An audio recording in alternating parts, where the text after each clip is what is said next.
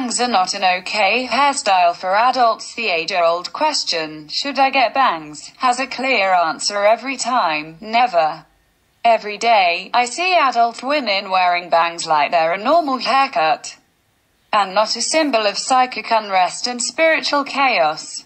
Early in my life, I too had bangs. I also had a mullet and a rat tail. In fact, I had all three of these hairstyles at once. I was a teenager. So what's your excuse? When I was younger, I had always wanted a long middle part, naturally understanding the superiority of a life without bangs. After all, long, bang-free hair is the hair of the sorceress, of Galadriel, Severus Snape, Clarice Starling, and Dana Scully. But as an adult, I did get bangs again, this time to hide my forehead which protruded heavily thanks to testosterone. At that time, bangs were a survival strategy.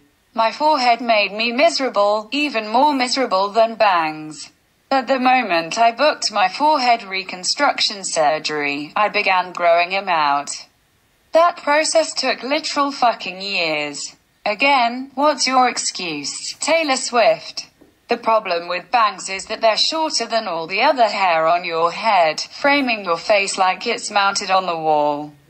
Bangs are the conclusion an eight-year-old would come to if asked to get their hair out of their face. It's like if you wanted more light in your room, so you cut a hole in the curtain. Then again, if you're dying to look like that blonde kid Angelica from Rugrats, have at it. This is not to say that the bang cannot be chic. Just think of the whimsical actor Zooey Deschanel. A name nearly synonymous with bangs themselves. Brigitte Bardot looked very sultry with her big bangs. And, of course, it isn't possible to criticize Naomi Campbell's eye-grazing bangs. But these are exceptions, not the rule. Bangs very rarely look good on people, and never, ever look as good as long, middle-parted hair. Still, this eternal question haunts the hair-minded. Should I get bangs? Even though the answer is always no, people keep cutting thick shelves of hair over their eyes and instantly regretting it. I know people who've made this mistake multiple times, which I'm fairly certain constitutes some deeper personal issue. You need not ever regret your bangs again if you can simply accept that bangs are not something you should cut into your hair. Which is not to say that you can't wear them. For more stories like this, sign up for our newsletter. Just get a bang wig. This supernatural solution is well known by celebrities. And by me. I recently received a few clip-on bang wigs from the hair shop, a really chic place in LA and NYC that sells all kind of attachable hair.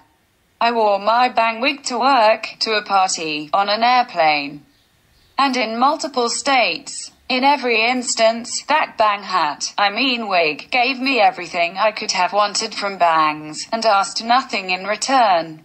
From the moment the bangs clipped onto my head, I knew I had found the solution for a problem that plagues mankind. Bangs are an accessory, not a way of life. This article was originally published on Broadly, a former Vice website focused on gender and identity.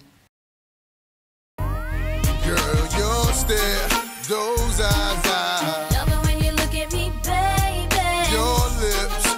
smile.